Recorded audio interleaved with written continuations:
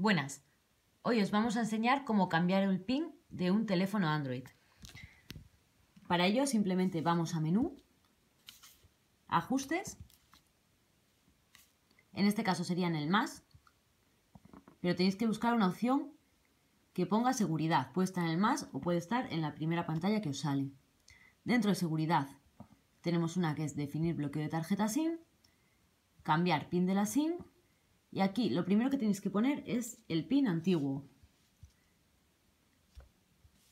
Es aceptar y ahora os va a pedir el nuevo PIN que es el que vosotros queréis tener y os lo va a pedir dos veces. Lo metemos uno, aceptamos, lo metemos otra vez y volvemos a aceptar. Y ya está cambiado. De esta sencilla forma podréis cambiar el PIN, por ejemplo cuando cambiéis de tarjeta, que os viene un PIN nuevo y queréis conservar el PIN antiguo. Si os ha gustado, darme un me gusta y con... suscribiros a nuestro canal.